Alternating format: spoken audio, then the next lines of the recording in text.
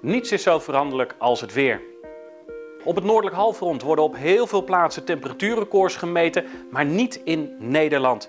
Het is al een tijdje wisselvallig en koel zomerweer. Het lijkt er wel op alsof Nederland een van de weinige plekken is op het noordelijk halfrond waar het duidelijk wat aan de koele kant is.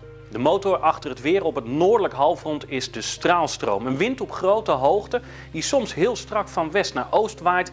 Maar met name in het zomerseizoen is die wind wat minder sterk en slingert die ook heel vaak. En ook op dit moment is dat het geval, want de temperatuursverschillen tussen de Noordpool en de Evenaar zijn op dit moment minimaal. En als je dan een beetje pech hebt, zit je net in een golf waarbij de wind vooral uit het noorden waait. Dan is het toch wel wat aan de koele kant. En daar hebben we op dit moment mee te maken.